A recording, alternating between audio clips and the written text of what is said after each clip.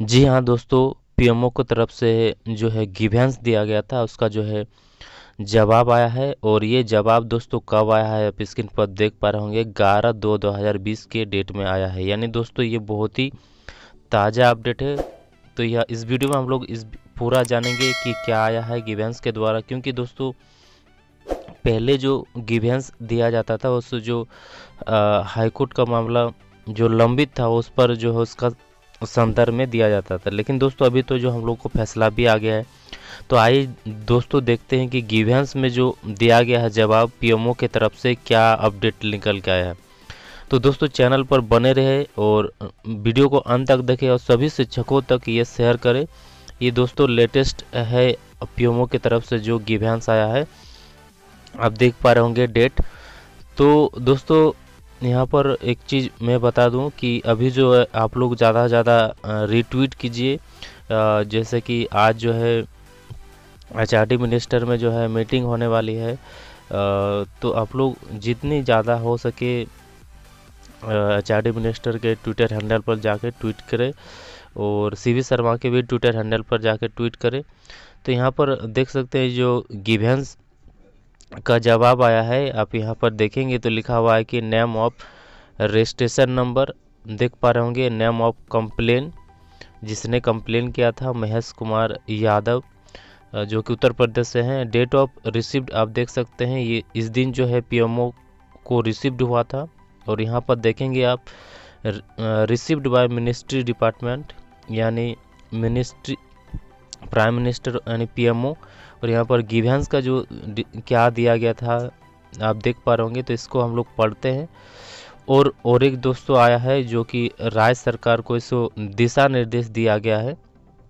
यहाँ पर देखेंगे लिखा हुआ कि विषय एनसीटी द्वारा जारी लेटर पत्रांक संख्या इतना जो इतना है नंबर, उसके को लिखा गया है कि शुद्धि पत्र जारी करने के संबंध में। महाशय हम सभी राष्ट्रीय मुक्त विद्यालय संस्थान, यानी एन द्वारा संचालित डीएलएड पाठ्यक्रम के अंतर्गत 2017-19 में प्रशिक्षण प्राप्त उम्मीदवार हैं और हम लोग राष्ट्रीय शिक्षक पात्रता परीक्षा, यानी सीटेड जुलाई भी उत्तीर्ण है। और वर्तमान समय में हम सभी गैर सरकारी विद्यालय में जो है अध्यापक कार्य कर रहे हैं। जैसा कि दोस्तों आप लोग जानते हैं, सभी जो कहीं ना कहीं अपने जो है प्राइवेट स्कूल में अध्यापक हैं, कार्य उस पर कार्य कर रहे हैं, यानी अपनी पढ़ाई के साथ साथ काम भी कर रहे हैं।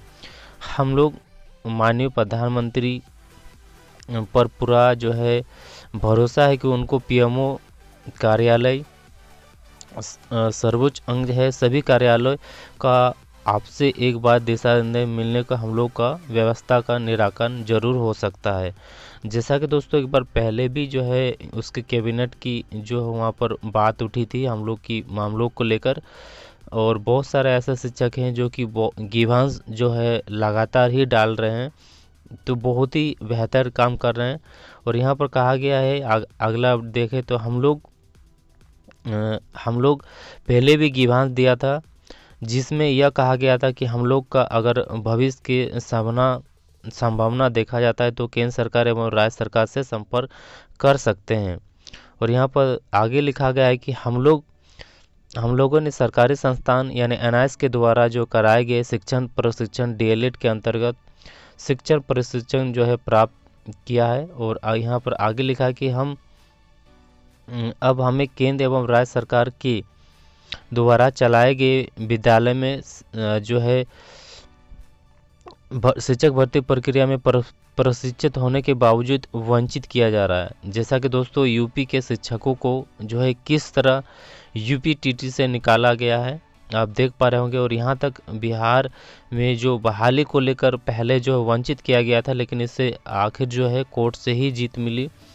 यहाँ पर उसके बाद अं, अंतर्गत प्रशिक्षण किया गया है और इनमें इसमें कहा गया है कि वंचित किया गया है और आगे कहा कि महाशय हम लोग प्रशिक्षित है या अप्रशिक्षित है? इसका जवाब जो है यहाँ पर मांगा गया है क्योंकि हम लोग के सर्टिफिकेट में दो साल की वैलिडिटी हो, जहाँ तक की बात है, बहुत सारा ऐसे अफवाहें उड़ा जाते हैं कि सीटेड में इसको मौका नहीं दिया जाएगा।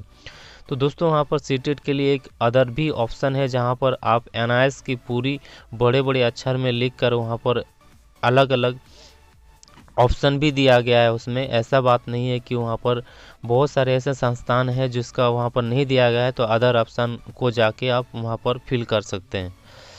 और आगे यहाँ पर कहना है कि हम लोग अभी तक जो है प्रशिक्षित हैं या अप्रशिक्षित हैं? अगर प्रशिक्षित हैं तो शिक्षक भर्ती प्रक्रिया में जो है शामिल क्यों नहीं किया जा रहा है? या अप्रशिक्षित हैं तो एन द्वारा दिए गए जो है प्रमाण पत्र यानी अगर हम लोग अप्रशिक्षित हैं तो हम लोग का जो दिया गया है अंग पत्र प्रमाण पत्र उसका क्या महत्व हो जाता है?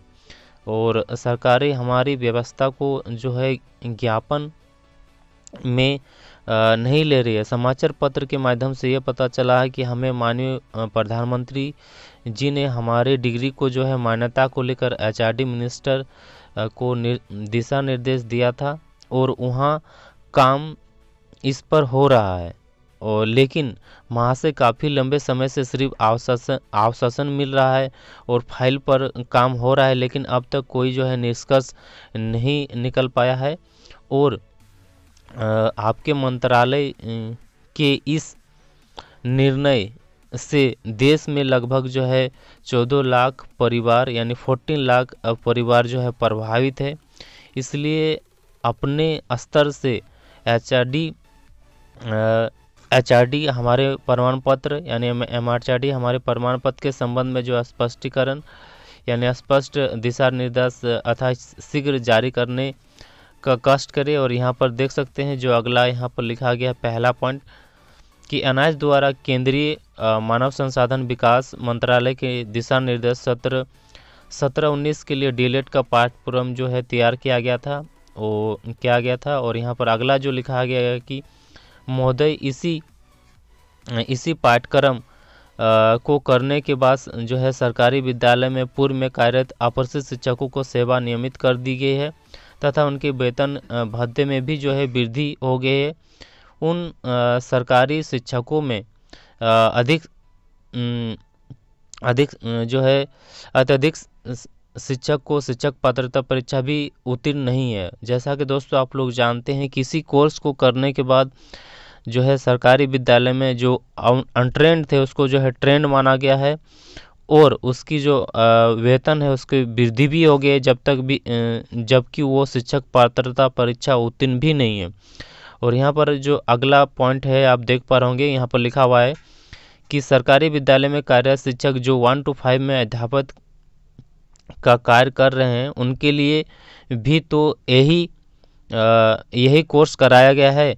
और अगला जो यहाँ पर पॉइंट लिखा गया, आप देख पा रहे होंगे कि महोदय, प्रशिक्षण के साथ साथ शिक्षक पात्रता परीक्षा उत्तीर्ण होने की उपरांत भी हमारे साथ भेदभाव करना क्या गलत नहीं है? और ये जो है शिक्षक, हम लोग ये जो ट्रेंड हो गए हैं, हम लोग का दो साल का जो है ट्रेंड कराया गया है।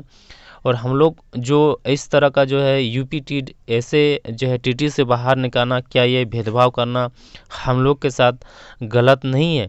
और अगला जो पॉइंट लिखा गया है हम सभी प्र, प्रशिक्षित प्राप्त प्राप्त अभ्यर्थी समाज के गरीब तबके से आते हैं तथा निजी विद्यालय में मामूली वेतन पर कार्य करते हुए गरीब गरीब और संसाधन विनीत होने के कारण पढ़ाई के साथ साथ काम करना ज़रूरी और मजबूरी भी है। जैसा कि दोस्तों, आप लोग जानते हैं कि ये कोर्स जितने भी शिक्षक या शिक्षिकाएँ की है, गरीब तबके से ही आते हैं और उनकी अगर वेतन की बात करें तो मामूली से, यानी किसी तरह से इस कोर्स को जो है गरीब ज़रूरत वाले ही मजबूरी में इस कोर्स को किया है। और यहाँ पर देखेंगे, अगला जो पॉइंट लिखा गया है किसी किसी भी नए पाठ्यक्रम को कराने का मुख्य उद्देश्य नई संभावना का सृजन करना। जैसा कि दोस्तों आप लोग जानते हैं कि ये जो फोर्टी लाख शिक्षक पूरे भारत में प्रशिक्षण लिया गया है तो ये कहीं ना कहीं नए उद्देश्य के लिए है नए सृजन के लिए कि ताकि स्कूल में सारे विद्यालय में एक ट्रेंड शिक्षक हो और एक भविष्य की जो नई युवा पीढ़ी आ रही है, उसको भविष्य की नई कामनाओं को लेके एक ट्रेंड किया गया है, यानी फोर्टीन लाख टीचर को। परंतु सरकार की इस संभावित निर्णय से, संभावना की जो है, हत्या हो हो और उसके हो रही है। और अगला जो पॉइंट यहाँ पर लिखा गया है कि एक समान प्रशिक्षण प्राप्त निजी तथा सरकारी शिक्षकों के साथ अलग अलग व्यवहार करने का, से भारत के संविधान द्वारा प्राप्त समानता का अधिकार भी उल्लंघन किया गया है और जा रहा है। अतः श्रीमान से प्रार्थना है कि अपने स्तर से एम को जो है स्पष्ट दिशा निर्देश करे, जिससे हम सभी गरीब शिक्षकों को सरकारी शिक्षक भर्ती प्रक्रिया में शामिल होने की अवसर मिले तथा सरकारी शिक्षक भर्ती एवं अन्य दिशा निर्देशन का पालन करने वाले अभ्यर्थी को सरकारी विद्यालय में, जिससे हम लोग अपने राज्य की शिक्षा व्यवस्था को सुधार करने में अपना योगदान दे सके और राष्ट्र निर्माण में हम लोग को भी प्रत्यक्ष भारी सुनिश्चित हो। आपका विश्वासी यहाँ पर भाजन यहाँ पर देख सकते हैं फोर्टी लाख एनआईएस शिक्षक। और ये दोस्तों देख सकते हैं ये जो जवाब आया है आप देख पा रहे होंगे करंट स्टेटस आप देख सकते हैं यहाँ पर। ग्यारह दो यानी ग्यारह फरवरी को जो है डेट ये ज, जो है जवाब आया है। यहाँ पर रिमार्क में देखेंगे लिखा हुआ है कि योर जो है grievance has forwarded to state government of Uttar Uttar Pradesh for taking approach action the जो है वाइट लेटर आप देख सकते हैं इतना डेटेड बाय ग्यारह इतना copy also making to your information यानी जो है, राज्य सरकार को इस दिशा निर्देश दिया गया है। क्योंकि पहले जो है, इस मामले को जो चला जाता था, उसमें कहा जाता था कि अभी आप लोग की मामला जो है लंबित है, इस तरह का दिया जाता है, यहाँ पर देख सकते हैं। ये जो आया है, आप देख पा रहे होंगे, नंबर यहाँ पर कॉन्टैक्ट नंबर दिया गया है ऑफिसर एड्रेस